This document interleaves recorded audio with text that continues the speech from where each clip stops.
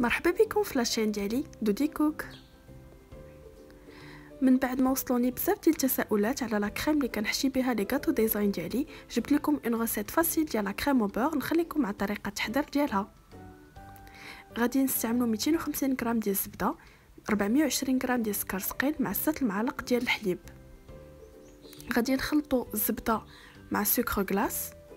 الزبدة اللي خاصها تكون بحرارة المطبخ اللي خرجناها نهار قبل ما نستعملوها ولا على الأقل أربع ساعات وتكون بالنوعية الممتازة. يعني الزبدة الحيوانية وماشي la margarine في هذه المرحلة كنزيدوا l'arôme ديال la vanille وكنبقاو نزيدوا الحليب شوية بشوية.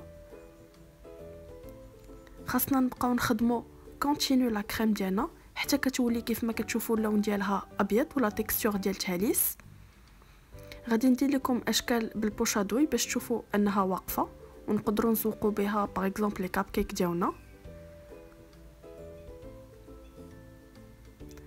كنتمنى الوصفة ديال اليوم تكون عجباتكم. اللي غادي ننصحكم أنكم تنكهوا la crème au beurre ديالها باش ما يبقاش فيها داك le goût المجهد ديال ديال الزبدة.